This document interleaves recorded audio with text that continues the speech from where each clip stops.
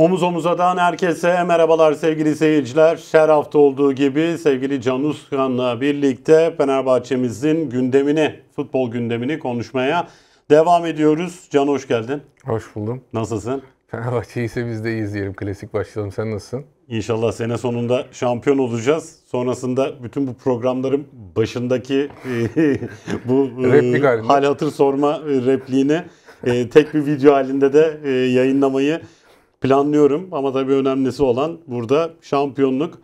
Evet e, geçtiğimiz hafta tabii Konya Spor maçından sonra biz son programımızı yapmıştık. 7-1 kazandığımız Konya maçından sonra e, programımızı çekmiştik. Tabii futbol takımımız hafta sonunda Gaziantep deplasmanındaydı. İkinci devrenin ilk maçına çıktık. Yarı otomatik offside sistemi e, kullanılmaya başlandı Süper Lig'de. Ama öncesinde maçı değerlendirmeni isteyeceğim senden. Tabii e, yani rakibe bakacak olursak katı bir savunma. Zaten üçlü e, sistemle oynadıkları için 3-4-3 ya da 3-5-2 düzeniyle Şumudika özellikle göreve geldikten sonra e, üçlü savunma düzeniyle oynuyorlar. Yani bizim maçta da bir baktık 8 kişiyle hatta 9 kişiyle ceza sahasını savunan bir Gaziantep takımı vardı. İlk yarıda tabii girdiğimiz yine pozisyonlar var. Şimanski'nin bir şutu kalecide kaldı. Fred'in çaprazdan şutu ki yani tam çatalın altına gidiyordu top. Yine kaleci çıkardı. E, Tadic'in pasında Şimanski'nin e, golü var ama yarı otomatik offside sistemi devreye girdi. Gol iptal edildi. Yine Ceko'nun dokunamadığı bir e, pozisyon var. Ve ilk yarı golsüz eşitlikle sonuçlandı. İkinci yarıda e, penaltıdan yararlanamadık ve son bölümde de İrfan Can Kahveci'nin kaydettiği golle sağdan 3 puanla ayrılmayı başardık. Evet çok aslında uzun süre unutulmayacak bir galibiyet oldu bence. Yani çok zor bir maç oldu. Hiç de bu kadar zor olacağını açıkçası beklemiyordum. Burada geçen hafta so, so, e, seninle konuşurken de söylemiştik. Hani ben e, Fenerbahçe her maçın favori olarak çıkacaktır ve alacaktır diye düşündüğümü söylemiştim. E, aldı ama gerçekten biraz böyle zor aldı. E, pozisyona girdik girmedik değil. Gol beklentimiz de kötü değil. Rakibin de gol beklentisi düşük. Aslında baktığın zaman 2-13 bizim 0-54 onların. Ya onların iki tane pozisyonları var. İşte evet. İlk yarıda bir tane e, Embakata'nın pozisyonu sol çaprazdan ceza sahasına girdi. Bir de ikinci yarıda uzaktan bir şut var. Evet. E, yani baktığın zaman oyunun kontrolü tamamen bizde. E, burada önemli olan iki futbolcu. Bence İrfan Can Kahveci golü atan ve kalecimiz Livakovic. Bence maça damgasını vurdu kurtarışlarıyla. İlk başta 7. dakikada bir tane çaprazdan gelen bir karşı karşıya bir evet. pozisyon vardı. Onu kurtardı. Bir tane Maksim'in bir uzaktan bir şutu evet. vardı. Onu bir de son dakikadaki kurtarışıyla aslında galibiyeti perçinlemiş oldu bir yandan. Ee, işte bu transferin önemi belki buralarda ortaya çıkıyor. Antep deplasmanları her zaman zordur. Oradan 3 puan almak hiç kolay değildir. Baktığın zaman Antep'in ben çok defa gittim Antep deplasmanına Fenerbahçe tribünüyle birlikte Fenerbahçe tarafına. Ee, hiçbir zaman Antep stadını dolu görmedim. Bakıyorsun bu sefer full dolu e, her ne hikmetse ve kötü gidiyorlar ha. Yani evet. yani çok şaşırtıcı bir doluluk var. Ha, Antep yönetimini şurada kutluyorum. Fenerbahçe taraftarına e, gereken fazla bileti açmışlar. Bir kale arkası tribününü ayırmışlar. Taraftarımız da gerçekten çok iyi destek verdi. Maçın birinci dakikasından 90. dakikaya kadar onların sesini dinledik. Ben gidemedim bu sefer ama kalbim onlarla beraberdi. Çok güzeldi destekleri. Çok önemliydi. Yani oyuna gelecek olursak e, aslında ilk devrede skoru alacak çok pozisyonlar yarattık. E, özellikle e, Cengiz'in bir tane e, senin de bahsettiğin üzere e, şeyin e, Ceko'nun ıska geçtiği pozisyon var. Evet. O mesela gol olabilirdi çok rahatlıkla. Olmadı. Ceko çok gününde değildi. E, Fred mesela ilk devre öldürücü pasları vardı. Çok böyle yani gol öncesi hani gol asistin asist dediğimiz pasları evet. çok öldürücüydü. O değerlendiremedik. Son vuruşları, son topları iyi yani şey yapamadık, e, getiremedik. Ama baktığın zaman 43 kere ceza sahasında buluşmuş topla bir Fenerbahçe. Yine bütün e, istatistiklerin aslında çok üstün bir şekilde, bariz bir şekilde önde. E, ama bunu skora yansıtmakta gecikti. E, Cengiz İrfan tercihini sorgulayanlar var. Bence aslında Cengiz oyunda kaldığı süre boyunca hiç kötü diyebileceğim bir performans göstermedi. Dediğim gibi yani Tabii. gayet iyi asist de olabilecek pozisyonlar yarattı. Ama son vuruşta belki biraz şanssızlığımız vardı. Olmadı Antep maçı özelinde. Ama e, zor da olsa 3 puanı aldık. E, bence ya çok bu eğer ki e, inşallah şampiyon olursak sene sonunda bu 3 puan çok net hatırlanacak bir 3 puan olarak kalacaktır hafızalarda. Çünkü çok çok zor geldi bu maç aslında. Yani hiç beklemediğimiz üzere çok zor, zor geldi. Ama e, Fenerbahçe yoluna dolu dizgin devam ediyor. Oyun üstünlüğü olsun. Mesela rakibimize bakıyorsun. Hiç böyle bir e, rakibine karşı kurduğu oyun üstünlüğü yok. Fenerbahçe'de bariz bir oyun üstünlüğü var. Ve 20 Pozisyon haftalık üstünlüğü de var. pozisyon üstünlüğü de var. 20 haftalık süreçte süre gelen bir şey bu. Yani hani bu hafta, geçen haftadan bahsetmiyorum. Yani 20 haftanın tamamında e, çok bir iki maç, ekstra maç haricinde e, Fenerbahçe hep rakiplerini sürklase etmiş durumda. Ama rakibe bakıyorsunuz ite kaka 1-0, 2-1 e, zar zor maçları alıyor. İşte bu hafta da 86. dakikada e, bir pozisyonda attılar. Onu da konuşuruz. E, yani hakeme geleceğiz mi yoksa Hakeme oyuncu, gelelim, oyuncu hakeme performanslarından Ya oyuncu performanslarını dilersen konuşalım. Sonrasında hakeme e, değiniriz. E, tabii Bonucci ilk maçına çıktı. Geçen hafta burada programımızda konuşmuştuk Bonucci transferini. E, Serdar Aziz sakatlanınca oyuna dahil oldu Bonucci. Ve e, maçta hakikaten tecrübesiyle yani ne kadar büyük bir tecrübe olduğunu e, daha ilk maçtan e, biz anladık. Evet. Yani 38'de girdi. Uzatmaları saymazsak 52 dakika. Uzatmaları sayarsak daha fazla oyunda kaldı. Ee, %72 pas isabeti. Ben çıkardım istatistiklerini. İkili mücadelede 5'te 4. Hava topunda 4 hava topunun 4'ünü de almış. Topu uzaklaştırmada da 4 tane top uzaklaştırması var. Oyuna da topu çok iyi sokuyor. Yani resmen bir tecrübe olduğunu ilk daha gelir gelmez maç eksiği olmasına rağmen hepimize gösterdiğini düşünüyorum. Ee, çok önemli bir transfer yaptığımızı düşünüyorum. Ee, bir de mesela şimdi düşünsene Serdar Aziz sakatlandı. Aslında stoper olmayan Jadon Osterwolde stoperde oynuyor. Ve Serdar Aziz'in de sakatlandığını düşün, Samet'in de gittiğini düşünürsen aslında yedek bir stoperin yok. Belki oraya işte Crespo da yok. İsmail'i çekeceksin. Orta sahada başka bir varyasyon yapmak zorunda kalacaksın Bartu ya da Mert Hakan. Yani çok hani zor durumda da Evet. kalabilirdik yani. O transferin bu dönemde ilk gününde transferin ilk gününde imza attırılmasının ne kadar önemli olduğunu aslında Antep deplasmanındaki aldığımız 3 puanla bence çok net göstermiş olduk, görmüş olduk hepimiz de. Bu anlamda da başkanı ve yönetimi gerçekten hocayı tebrik etmek gerekiyor. Hiç bir boşluk bırakmıyorlar. Keza Kurunic transferi de aynı şekilde işte şimdi Crespo mesela sakat. Evet, Kurnic'i'de konuşacağız zaten. Ee, Crespo'nun da bir sakatlığı var. Ama Bonucci bence de yani tecrübesiyle maç boyunca yani oyuna girdikten sonra hakikaten e, çok üst düzey performans sergiledi. E, sahanın karıştığı bölümler oldu Evet, biliyorsun. Gerginliklerin orada- yaşandığı bölümler oldu. Orada da yine e, aslında Ferdi'yi sakinleştirme e, konusunda ne kadar büyük bir tecrübe olduğunu da gördük e, Ya Bonucci'nin. orada da bak çok kısa bir ek yapayım sana. Orada da ben anlamadım. Lazar Markovic sakin bir çocuktu. Eskiden beri hani bizde de oynamışlığı Tabii. var biliyoruz. Yani bu maçta neden bu kadar fevri ve agresif olduğunu gerçekten anlayamadım. Bir de karşısında Ferdi gibi futbolcu yani. Çok efendi hiçbir şey yapmıyor Ferdi. Muhtemelen ben- Germek için her ben şeyi şöyle yaptı yani açıkçası. ben şöyle düşünüyorum onu. Yani kendisiyle alakalı e, yani maça motive olmuş eski takımına karşı forma giyiyor Lazar Markovic ve e, istediği performansı sergilemesine izin vermeyen bir oyuncu var karşısında. Evet. Ama yine de yani hani Ferdi gibi efendi birini Tabii. böyle yapması, oradan işte Bonucci senin işte bahsettiğin üzere çekip aldı Ferdi'yi. Halbuki Ferdi bir şey yapmıyor ama Tabii. orada sakinleştirme amaçlı. işte tecrübe buralarda devreye giriyor. Bak aynısını e, İrfan Can'ın pozisyonunda da Mert Hakan yaptı. Onu Evet. oradan çekip aldı. Ya bunlar çok önemli. Hani geçmişte eleştirmiştik. E, bir pozisyonda almadılar ya işte Fred kırmızı kart gördü Evet. falan gibi böyle medyada eleştiriler oldu. Ama şimdi tam aksini görüyoruz işte Mert Hakan gelip alıyor, orada Bonucci gelip alıyor. Yani hep böyle tecrübeli futbolcuların buralarda tecrübelerini göstermesi. Çünkü biz burada bir kart göstermeye meraklı bizim hakemlerimiz Tabii. Fenerbahçe. Aman bir şey kolluyor, ortam kolluyorlar. O ortamı yaratmadıkları için futbolculara da e, herhalde teknik heyet hatırlatmış yani. Türkiye biraz farklıdır. Dikkat edin. Bakın oyuncular böyle münakaşaya girmeyin. Çünkü münakaşaya girdin mi hep biz zararlı çıkıyoruz. Tabii. Rakibe bakıyorsun münakaşaların gırla gidiyor ama hiçbir kart yok. Tabii yani hakemlere olan söylemler var. E tabi Yani tabi. Yani son maç görüyoruz. bile hocalarının gördük yine küfür etti hakeme. E, yine hiçbir şey yok.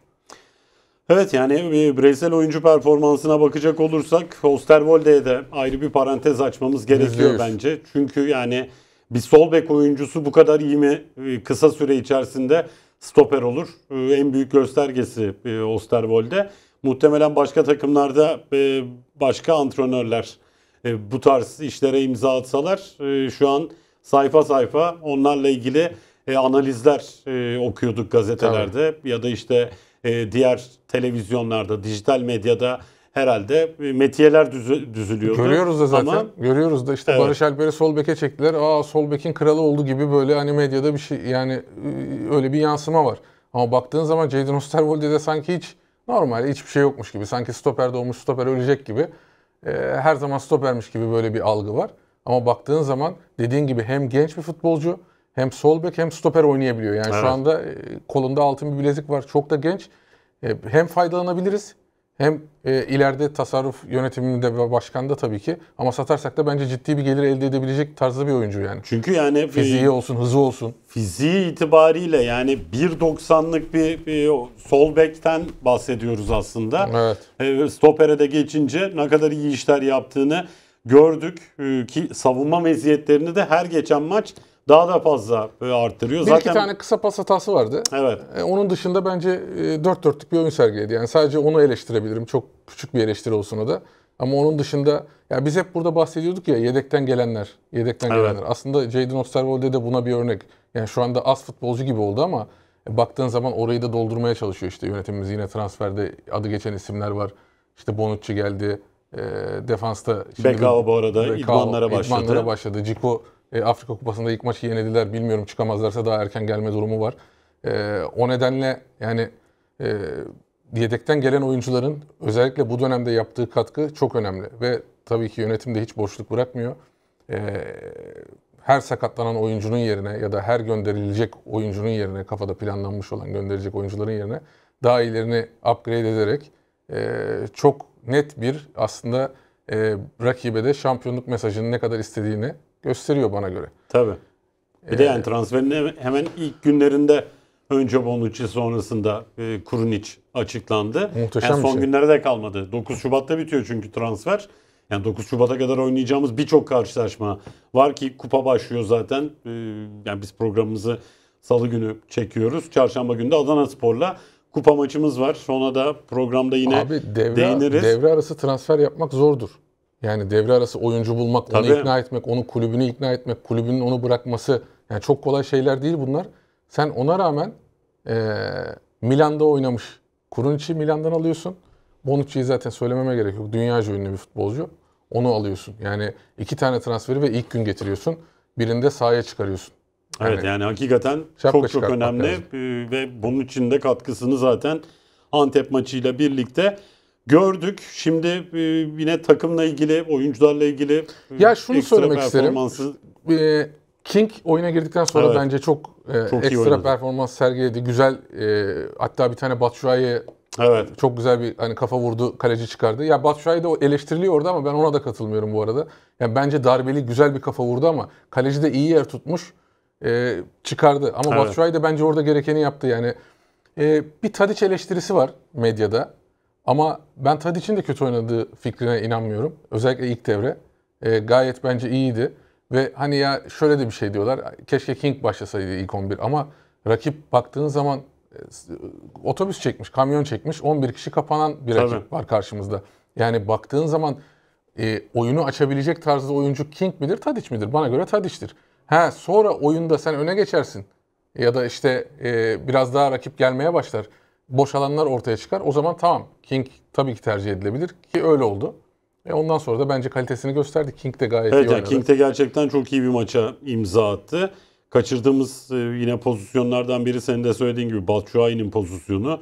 Yine ikinci yarıda hatta ondan hemen önce Şimanski'nin çaprazdan şutu var top direğin yanından oyun alanının dışına gidiyor. Yani takımımız aslında golü erken bulsak bence çok daha farklı bir senaryo. Yani senin geçen hafta e, tahmin ettiğin o senaryoya doğru maç gidebilirdi diye ben de düşünüyorum. Şimdi penaltı pozisyonumuz var tabii. E, Evet. ikinci yarının hemen başında ceza sahasına doğru gönderilen bir top Fred rakibinin müdahalesiyle yerde kalıyor. Maçın hakemi de e, Tugay Kaan Numanoğlu penaltı kararını e, verdi. E, yani bu pozisyonla aslında e, Fred'e Ankara gücü deplasmanında çalınmayan penaltı var biliyorsun Evet. orada. Yani sanki aynı pozisyon gibi Evet. aşağı yukarı. Bana göre %100 penaltı. O da penaltıydı. Ankara gücü da maçındaki de penaltıydı. penaltıydı. Verilmedi. Ee, şimdi asıl burada bence penaltının penaltı mı değil mi'den çok konuşulması gereken konu şu. penaltı atıldıktan sonra Jilobocci. Bir, bir futbolcu daha var galiba. İki Evet. tane Antepli futbolcu ceza, ceza sahası içinde tam atılırken penaltı. Hatta Jilobocci neredeyse Ceko ile beraber penaltıyı kullanacak. Kural ihlali bu. Evet. Penaltının tekrarlanması gerekiyor. Kural kitabında böyle yazıyor. Şimdi ben e, kural kitabında yazanın uygulanmasına karşı çıktı triyodaki e, yorumcular. Ben çok şaşırdım açıkçası. Yani kural kitabında yazan şeyi adam diyor ki üçü de çıkmış. Bunu verirsek e, verilirseydi bu işte tekrar edilirse infial olurmuş. Yani hani 6 saniye kuralının uygulanması gibi adledilirmiş. Ya o zaman şöyle yapalım. Kural kitabını sizin yorumlarınıza göre değiştirelim.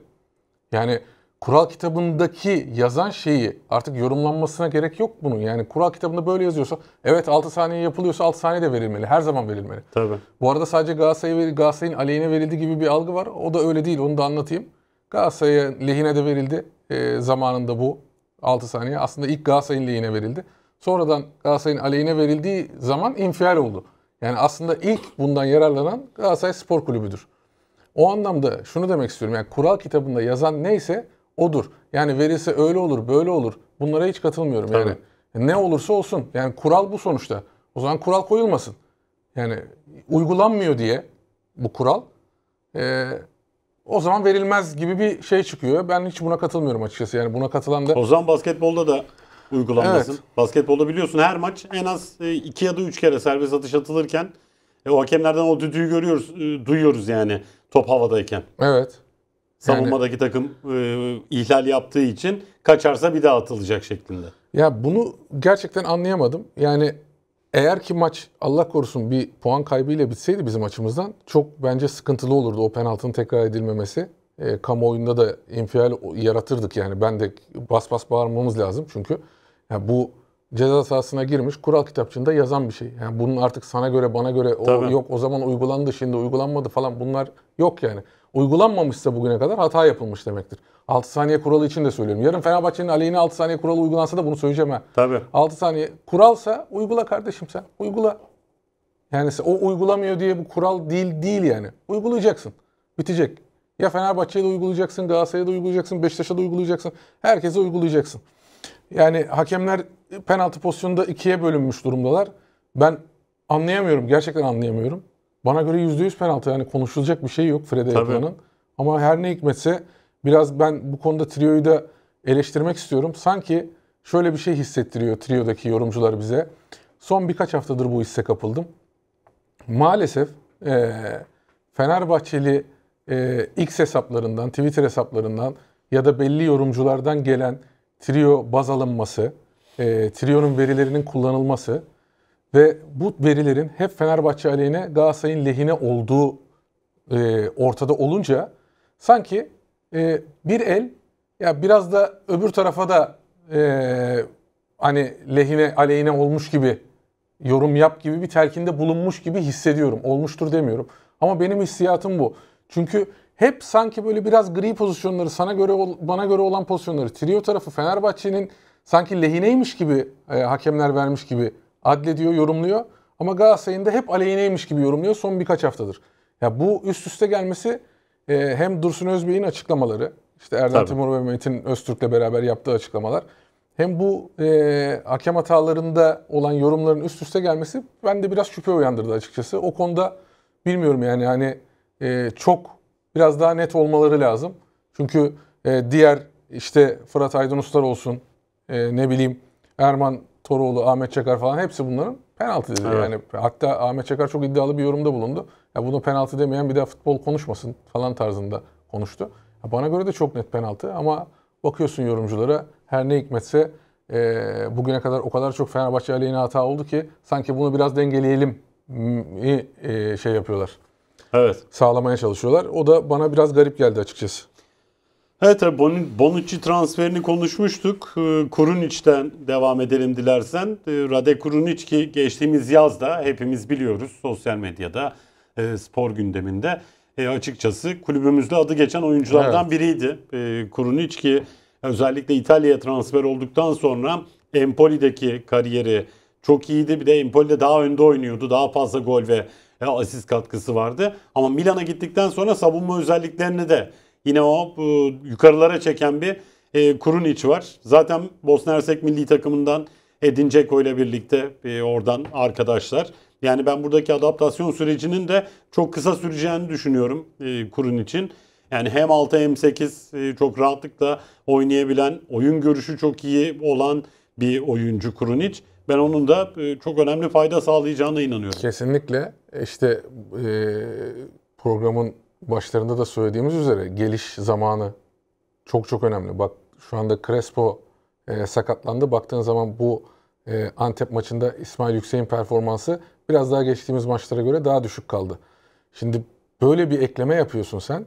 İlk 11 eklemesi bu. Çok net Evet. yani. Şimdi bu şampiyonluk mesajı işte. Bonucci ile bu. Kurunic şampiyonluk mesajı ve daha fazlası da konuşuluyor medyada. Ha, transfer işi dinamiktir. Gelir gelmez bilmiyorum. Tabii. Ama e, bu hamlelerin yapılıyor olması ve bu zamanda yapılıyor olması çok önemli. Yani çok kariyerli bir futbolcu. Bir de bize Bostonlıların çok iyi uyduğunu düşünüyorum ben. Geçmişte de Evet. Balic, Bolic baktığın zaman yani onlar da çok büyük katkılar vererek e, Fenerbahçe'de oynadılar. Biliyorsun hatta Balic Real Madrid'e transfer yaptı. Yani o anlamda işte Ceko'nun buradaki varlığı Yani onu mesela işte o Bosna şimdi Bolic'te Bolic'ten bahsediyoruz. Şu an Bolic'in e, o dönemki performansıyla günümüze e, uyarlamaya çalışıyorum. Bolic için bonservis bedeli Evet, e, zor. zor biçilir. zor biçilir. Evet. Yani o yüzden bize o taraf çok uyuyor. İnşallah Rade Kurunic de e, taraftarı sev- sevgilisi olur. Baktığın zaman orada da bizim bir sayısal olarak da belki eksikliğimiz vardı. İşte Zayt'ın sakat olduğunu düşünürsen işte Crespo sakatlanıyor bazen oluyor bazen olmuyor. E, bence Rade Kurunic çok net bir ekleme. Bir de e, bence şeyden de sıkışmayacağız. Yerli kuralından da sıkışmayacağız. Evet, Çünkü yani şimdi- Mert Müldür çok net Şimdi geliyor mesela- yani. Yani Gaziantep maçının üzerinden konuşalım. Sağ bekte Mert Müldür var. E, Stoper'de Serdar Aziz. İşte önünde İsmail. Sol bekte Ferdi var zaten. E, İrfan ya da Cengiz oynuyor. İrfan ya da Cengiz oynuyor. Evet. Yani onlardan iki tanesini çıkarsan ki e, zaten Serdar e, sakatlık problemi yaşadığı için Bonucci oyuna dahil oldu. Biz ligde o kadar çok takım biliyoruz ki stoperi sakatlandığında aynı anda iki değişiklik yapan. Tabii. Bu yabancı kuralıyla alakalı. Ya çok bence e, önemli bir kadro oldu. Yani kadro olarak gerçekten e, şampiyonluğu aslında kağıt üstünde. Tabii ki her şey sahada belli oluyor ama kağıt üstünde net favori bence Fenerbahçe. Yani bazıları Galatasaray'ın kadrosu daha iyi falan diyor. Ben hiç katılmıyorum. Hiç katılmıyorum. Bana göre oyuncu oyuncu da bak nasıl bakarsan bak Fenerbahçe'nin kadrosu çok çok önde gibi duruyor bana göre. Ama işte öbür taraftan bazı ittirmeler var. Ee, ama ben dediğim gibi ya Fenerbahçe'nin şu anda durdurulacak bir çok ekstra şeyler olmazsa hakemler tarafından Fenerbahçe'nin durdurulacak bir güç ol- olduğunu başkaları tarafından görmüyorum. Ee, çok kısa şuna değinmek istiyorum. Başka bir şey yoksa. Yok yani e, devam Şu- edebiliriz araya gideceğiz sadece. Tamam çok kısa şu Midika'nın şu açıklamalarını e, Evet. konuşmamız gerekiyor bence. Şimdi maçtan sonra çıkıp İsmail Kartal kim dedi bunu tercüman çevirmedi. Ama dedi bu kameralara yansıdı. Şimdi e, İsmail Kartal'ın kim olduğunu sorgulamak kimsenin haddine değil. Senin hiç haddine değil şu Midika. Fenerbahçe Şampiyonlar Ligi almışçasına ya da Şampiyonlar Ligi kazanmışçasına, oradaki bir maçı kazanmışçasına sevindi dedi. 81'de gol atıyoruz, şampiyonluğa gidiyoruz. Sev- ağlayalım mı? Ne yapmamız lazımdı? Onu anlayamadım gerçekten. Yani bu gerçekten şovmenlik boyutuna gidiyor. Saha zeminini sorgul- sorgulayamazlar diyor. Bu bir saygısızlık falan o tarz bir şeyler söylüyor. Ama baktığın zaman kendisi e, iki sene önce falan Evet. aynı zemini yine başka bir maçta sorgulamış, zemine laf etmiş. Yani çok şaşırtıcı bunlar. Yani bu Antep'in e, bu taraftar olayı, Şumika'nın bu hırsı, oyuncuların, futbolcuların hırsı tabii ki olsun. Hiçbir şey demiyorum ama çok bana ekstra geldi. Çok ekstra geldi bu açıklamalar falan. E, bunu da bir kenara koymuş oluyorum. Yani aklımın bir ucunda köşesinde duracak. İlerleyen vakitte yine konuşuruz. de Fenerbahçe'mizin gündemini, futbolun gündemini konuşmaya devam ediyoruz ki programımızın ilk bölümünde Fenerbahçe'mizin hafta sonunda Gaziantep'le deplasmanda oynadığı karşılaşmayı konuşmuştuk. Yine hakem kararlarıyla ilgili yorumlarda bulunduk.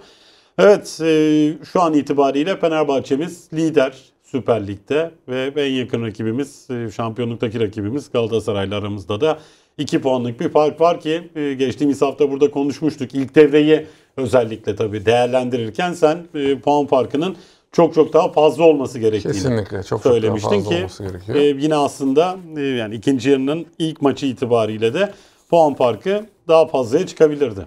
Kesinlikle daha fazlaya çıkabilirdi ama Her ne hikmetse çıkmadı. Şimdi eee, şöyle söyleyeyim. Galatasaray'ın kullandığı maçları ben bir hatırlatayım kısaca. Rize'de Kadir Sağlam ve Koray Gencerler'in hakem olduğu, var olduğu Koray Evet. Gencerler'in.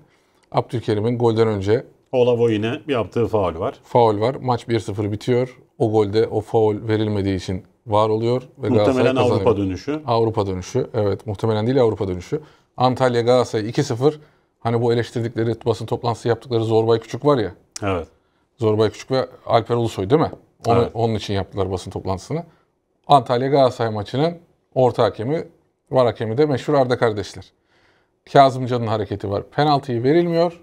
Bu sizin eleştirdiğiniz Zorbay Küçük hani bizim çok şeyimizmiş ya. Bizim maçlarımızda hep biz kazanıyormuşuz ya Zorbay Küçük'le. Şimdi anlatacağım. Zorbay Küçük'ü de anlatacağım size.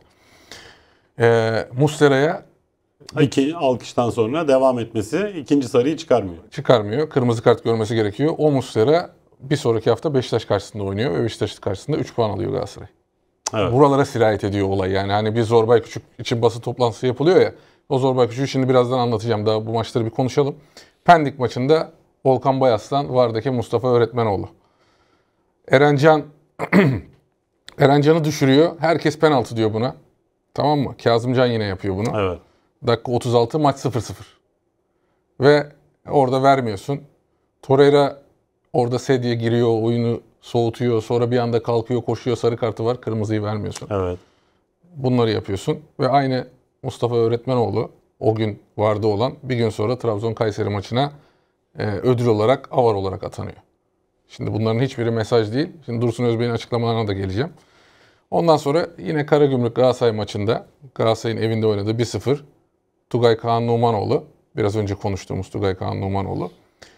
Galatasaray'da Barış Alper'in düşürülmesine eee, Deniz Çoban, Bahattin Duran penaltı diyor. Hepsi. Maç o an 1-0 Galatasaray önde ve 1-1 olacak. Vermiyor. Torreira'nın itirazı var. O hafta Fred'e itirazdan sarı kart, direkt kırmızı kartı Evet. çıkarıyorsun. Pat diye. O hafta Torreira yine itiraz ediyor. Ona veremiyorsun. Sarı kartla kalıyor. Bir- Biraz önce yine Torreira demiştim. Hakemi aldatma yönelikten. İki tane kırmızı kart oldu. iki haftada Torreira. Sonra e, Galatasaray Konya maçı Ali Şansalan, Alper Çetin. Barış Alper'in Galatasaray golünden önce yaptığı faul. Net bir faul var. Bütün hakem hocaları golden önce faul olduğunu söylüyor. Şimdi 5 tane majör maç saydım. Daha bak bunun Kayseri'si var. Barış Alper'in 12. dakikada kırmızı kart. Trabzonspor'un o Bakasetas'ın ayağına basması falan. Golden önce onlar var. Orada aynı maçta kaburgası kırılıyor bir tane Trabzonsporlu futbolcunun. Onlar var. Onları falan vermiyorsun. Bunları saymıyorum. Almadım bile buraya. 5 tane majör maç saydım. Ve hepsi ya 0-0 ya 1-1. Ve hepsinde 5 maçta da 5'inde de Galatasaray 15 puan alıyor. Hadi ikisini kaybetse, ikisinde de iki berabere kalsın 4 puan. Bugün de 2 puan ekle 6 puan ediyor. Bak nelere sirayet ediyor, nelere mal oluyor. Ha belki de hepsini kazanırdı bilemem. Ama sonuç olarak bunları net bir şekilde hakem hatalarıyla Galatasaray'ın lehine olan hakem hatalarıyla maçlar sonuçlandı. Şimdi bunlar hiç olmamış gibi ee, Galatasaray bir şey yaptı. Ondan önce Zorbay Küçük'ü de biraz anlatayım. Zorbay Küçük Antalya maçını söylemiştim.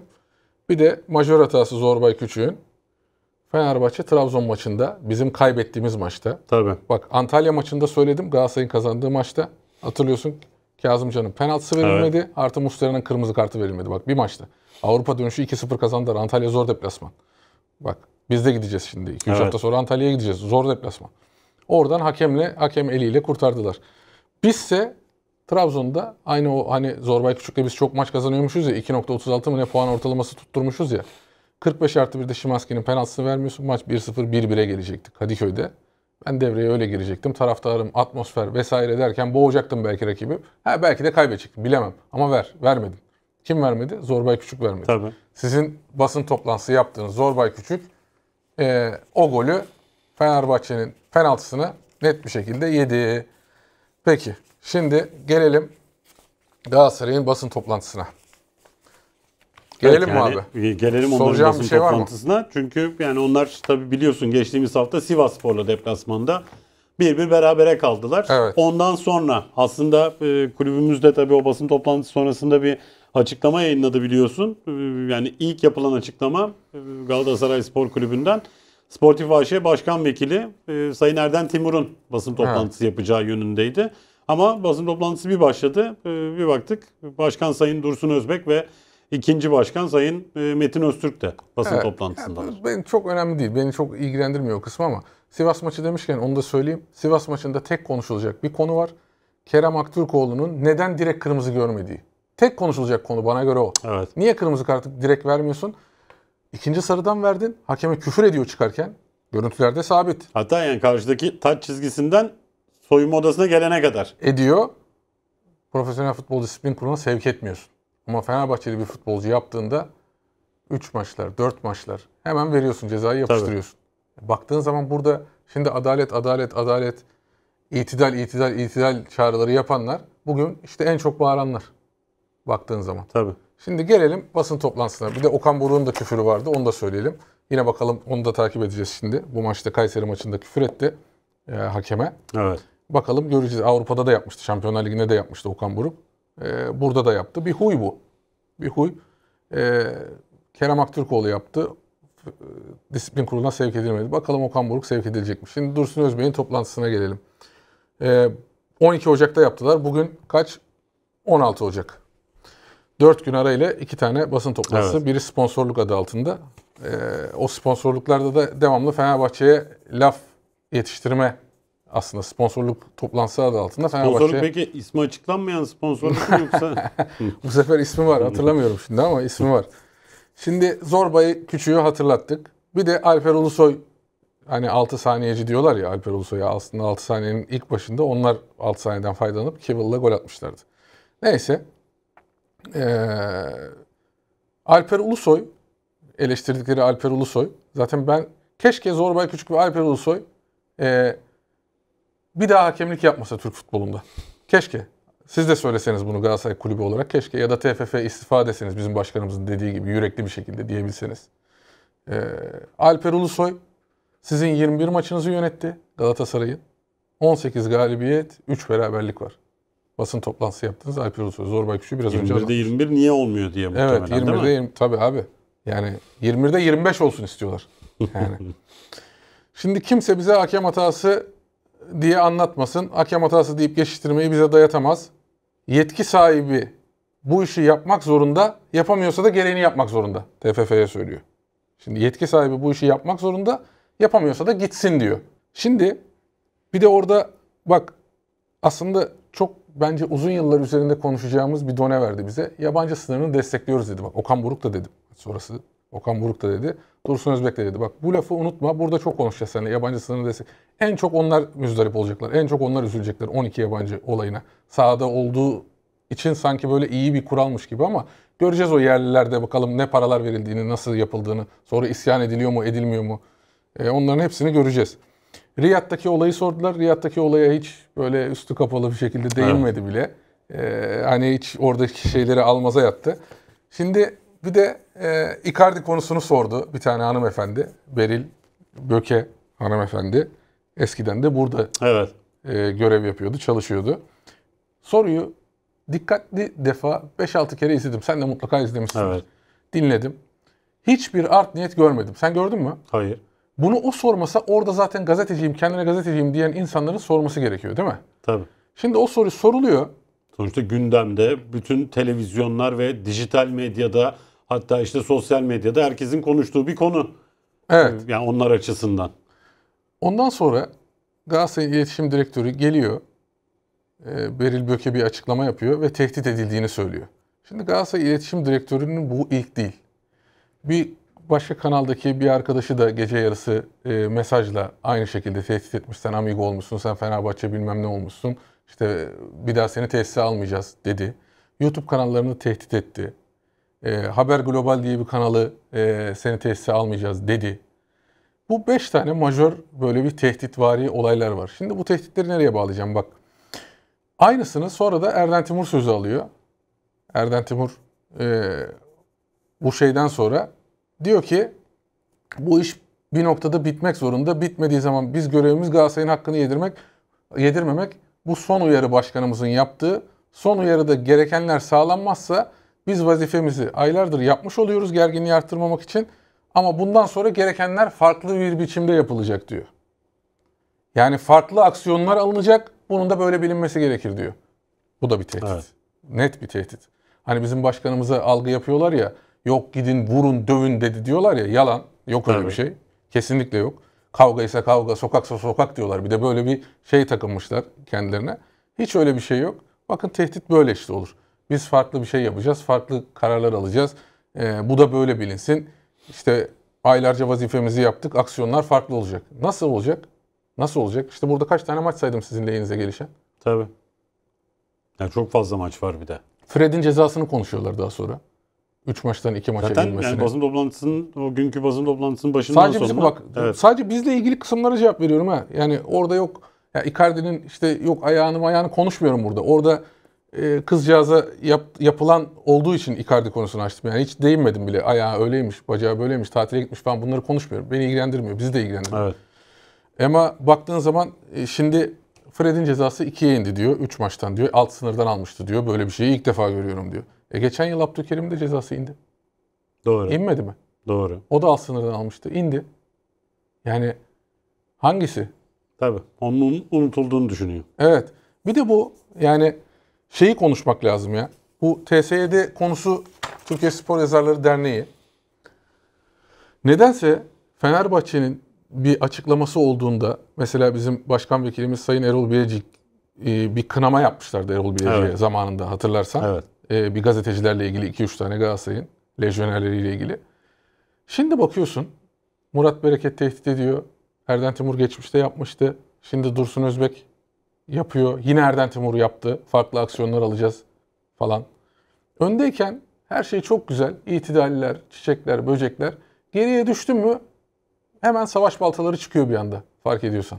Tabii. Çok enteresan bir şey yani. Bir de yani takımın kötü yani en azından dışarıdan objektif gözler de bir karşılaşmada iki takımın yani hem bizim hem onların maçlarını takip ediyor. Çok net yani gözüken şu e, bizim oyunumuzla onların oyunu arasında çok ciddi Dağlar bir fark var. var. Dağlar var. Ya zaten bütün korku o. Yani sen şimdi takımın iyi olsa, eze eze yensen, rakipleri sürüklese etsen Fenerbahçe gibi zaten bu panik havası oluşmaz. Hep, hep algı yapıyor diyorlar. Bak işte yok paralar ödenmiyor diye bir şey çıkardılar diyorlar. Vallahi de billahi de Galatasaraylı basın mensupları çıkardı paralar ödenmiyor. Ya Fenerbahçeli basın mensupları sizde paralar ödeniyor ödenmiyor nereden bilsin ki? Sizin Galatasaraylı, sizin habercileriniz, gazetecileriniz Tabii. hepsi onlar yaptı bu haberleri. Onlar yapınca da kamuoyunda gündem oldu. Yani bundan öte başka bir şey yok. Sonra da hani oradan da mağduriyet yaratma çabası var. E, şimdi bunu söyledik. Bu ayın 12'sinde oldu bu Evet. toplantı. Hafta sonunda maçlar oynandı. Maçlar oynandı. Maçlarda yani bana göre Galatasaray'ın verilen 86. dakikadaki penaltı skandal. Ee, ona rağmen işte golümüz verilmedi diye ya golünüz verilmediyse bizim nelerimiz biz neler ne konuşalım. Bak Ya Galatasaray'da bir strateji dedik. var. Galatasaray- Özellikle bak Galatasaray'da bir strateji var. Çok kısa söyleyeyim onu da. Galip geldikleri maçlardan sonra yapıyorlar bunu özellikle ki geçen haftayla da birleştiriyorlar. Sivas, bu hafta Kayseri. Çünkü bir panik var. Eksikler var kadroda. İyi futbol yok ortada. Trabzon maçından sonra daha ikinci haftada ben 50 yıldır böyle hakem hatası görmedim, hakem skandalı görmedim dedi Dursun Özbek. Bu hafta bakıyorsun 4 gün arayla 2 tane basın toplantısı. Onun da sebebini söyleyeyim mi sana? Çünkü 12'sinde yapılan basın toplantısı Galatasaray medyasını, Galatasaray'ın taraftarını hiçbir şeyi tatmin etmediği için Dursun Özbek bugün eee, sponsor görüşmesinde tamamen bizi, Ali Koç'u başkanımızı Fenerbahçe'ye hedef alan açıklamalar yaptı. Tamamen bu. Yani kendi camiasını konsolide etmek. Çünkü o 12'sindeki hitabeti vesairesi çok eleştirildi Galatasaraylılar tarafından. Biz değil onlar eleştiriyor. Beni ilgilendiren bir şey yok. İstediği tonda konuşabilir. Ama e, sonuç olarak Galatasaray'ı eleştirdiği için 4 günde bir açıklama yapma gereksinimi hissetti. E, ve şimdi bugün, dün gece tweet atıyorlar gecenin birinde. Gördün mü tweet'i? Evet. Diyor ki tehditle kork- korkularak, korkutularak işlerinde ne noktaya geldiğini ve buna hiçbir şekilde engel olmayıp sakladığınız tüm Türkiye gördü sakladığınızı. Bundan sonra anladığınız dilden konuşacağız. Bu böyle devam etmeyecek. Bak tehditler ardı ardına devam ediyor. Tabii. Bundan sonra anladığınız dilden konuşacağız. İşte farklı aksiyonlar alacağız. arada orada şeyin videosu var biliyorsun. Tweet'te. Evet videolar var. Video Orada var. da bize şey yapıyor yine. söylüyor. E peki şimdi bu hakem hataları oldu ya. Hani size göre hakem hatası var. Ve Galatasaray aleyhine oluyor bu size göre. E gelin hakemleri konuşalım dedi Fenerbahçe kulübü dördüncü kez çağırdı. Bak bu- Evet. bu hafta içi yine oldu o. Evet. Hadi e, teraziden kaçan hırsızdı. Evet. Değil miydi teraziden kaçan hırsız? Bunlar sizin laflarınız değil mi? Yine Hadi teraziye gelin teraziye. Dördüncü kez teraziye Gelin davet. Galatasaray TV'de yapalım. Hadi ka- kapattığınız TV'yi YouTube'da yapalım. Galatasaray YouTube kanalında yapsınlar. Yani burada bak sana bir şey diyeyim mi? Fenerbahçe'nin profesyonelleri ya da yöneticileri ya da başkanına ihtiyaç yok ha. Sen ben gitsek yine üstün çıkarız orada. Tabii. Çünkü o kadar net bir görüntü var ortada. Tabii canım. Yani o penaltı pozisyonunu da yine konuşuyorlar. Ee, oynadıkları işte Kayseri maçındaki penaltıyı konuşuyorlar. Yani hakemlerle ilgili e, şimdi onların maçındaki var hakemine var hakemine bakıyorum Erkan Engin. Yani Erkan Engin bizim bu seneki Antalya maçında var Evet. hakemi. Zayt sol çaprazdan ceza sahasına giriyor. Faul yapılıyor biliyorsun. Orada 2-1 öndeyiz. Belki maç 3-1 olacak. Ama e, var odasında herhangi bir uyarı gitmiyor e, hakeme. Avar o maçta Mustafa İlker Coşkun e, var hakemiydi. Bir sonraki hafta Alanya deplasmanı Erkan Engin. Çok da zor bir maç. Var hakemiydi o karşılaşmada. Evet. Kasımpaşa deplasmanında Orada bak Alanya'da hem Jadon'a bir tane sarı kart kırmızı kart olması gereken Jadon'a yapılan bir hareket var çok Evet. sert. Kırmızı kartı vermiyor. Bir de 14. dakikada Şimanski'nin penaltısını vermiyor Alanya'da. tabii. Yani orada herhangi bir uyarı yok. Varda yani kendisi. Kasımpaşa deplasmanı Mete Kalkavan hakem, Suat Aslanboğa var hakemi, Erkan Engin Avar. Evet. O karşılaşmada Engoy'un e, Fred'e müdahalesi var. tabii. Sarı kartı çıkartıyor e, Mete Kalkavan ama yüz kırmızı kart kırmızı. olması gereken bir pozisyon. Pendik maçına gelelim. E, Bizim aslında her hafta konuştuğumuz konu. Yani Pendik maçı biz 5-0 öndeyiz. Duraklama dakikaları Ferdi'ye. Sana göre bana göresi kesinlikle olmayan bir e, penaltı yapılıyor. Var hakemisiniz. Niye orada çağırmıyorsunuz? Yani Burada hemen çağırıyorsun koştur koştur. Kayseri maçındaki o pozisyonla yani Galatasaray Kayseri maçındaki pozisyonla Ferdi'nin pozisyonu arasında da dağlar kadar fark var. Tabii ki ya. Niye çağırmıyorsun? Aleyhine olsa Kayseri maçındaki çağırabilir mi vardaki hakem? Kayseri'nin pozisyonu aynı. Evet. Barış Alper'in yerinde Kayseri futbolcu var. Defansta da Nelson var ya da işte Abdülkerim var. Öyle o hafif bir dokunma oldu ya. Tabii. Ona verebilir misin sen o dakikada? ben hiç 1-1 zannetmiyorum. maç devam ediyor. 86'ta Kayseri'ye penaltı vereceksin ha? Ben hiç zannetmiyorum. Mümkün değil ya. Ondan sonra bizim İstanbul Spor deplasmanında da yine VAR odasında VAR hakemi Erkan Engin. Maçın hakemi de Volkan Bayarslan. İstanbul Spor maçında biliyorsun biz yine farklı kazandık 5-1. Ama iki tane pozisyon var ki biri Mert Müldür'ün diğeri de duraklamalarda İsmail Yüksek'in. Bence ikisinde penaltı olması gerekiyor. Artı Emre Mor'un kırmızı kartı. Arkadan Evet. basılan. Bir de o var. Tabii. Bir Yani de orada bu- da VAR Bir odasındasın. de bunun yanında Galatasaray Uyarım. maçlarında da görev aldı. Galatasaray'ın lehine de hatalar yaptı. Yani Pendik Galatasaray maçının avarı bu. Erkan Tabii. Engin. Kazımcan'ın Erencan'a müdahalesi var. %100 penaltı. Bütün hakem hocaları söylüyor. Ama devam. Ankara gücü Galatasaray maçında da eee var da yine Erkan Engin var. Zaha'nın golünden önce Kerem Aktürkoğlu Mert Çetin'e faul yapıyor. Orada vermiyorsun. Eee, sonrasında maç 1-1 oluyor falan böyle. Yani baktığın zaman şimdi Zorbay Küçük ve Alper Ulusoy için basın toplantısı yapanlara Erkan Engin'i anlattık. Zorbay Küçük'ü de anlattık. Alper Ulusoy, Zorbay Küçük, Erkan Engin. Keşke hakemlikten el çektirseler de gitseler. Siz yapın hadi biz yapamadık siz yapın o zaman. Ne TFF istifa diyebiliyorsunuz ne hakemlere el çektirme diyebiliyorsunuz. Biz yüksek tondan konuşacağız diyorsunuz. İşte bugün Dursun Özbek daha devam ediyor. Mesela şu anda tezatlıklara bak bir de. Okan Buruk maçtan sonra TFF iyi niyetli dedi. İyi niyetli mi? Aba altından sopa mı gösteriyorsunuz? Yani Dursun Özbek farklı konuşuyor, Okan Buruk farklı konuşuyor. Yani anlamak mümkün değil. Bak bir de haksızlığı bugünkü açıklamasını gelirken dinledim buraya. Biraz işim vardı. Tam böyle canlı izleyemedim. gelirken dinledim e, radyodan. Haksızlığı hak, hak kabul edenler diyor bize, bizi kastederek Fenerbahçe'ye. Haksızlığı hak kabul edenler. Kardeşim bu ülkede 3 Temmuz'u biz yaşadık. Kurşunlanmayı biz yaşadık. 3 kere son hafta şampiyonluğu elimizden aldılar. Tabii. Tamam mı? Nasıl aldıklarını da biliyoruz. Biz mi haksızlığı hak kabul etmişiz ya? Biz haksızlığa uğrayan dünyadaki belki yegane kulübüz, en başta gelen kulübüz, yegane demeyeyim de en başta bir numaralı kulübüz ya. Bizim başımıza gelen kimin başına gelmiş ki? Dünyada. Dünyada diyorum bak, Türkiye'yi geçtim. Dünyada diyorum. Ya bir otobüs kurşunlanması var ya. 3 Temmuz var, kumpas var. Sen dimdik durmuşsun arkasında kulübünün. Tabii. O zaman da sen ate- bu ateş üfleyerek sönmez diyordun.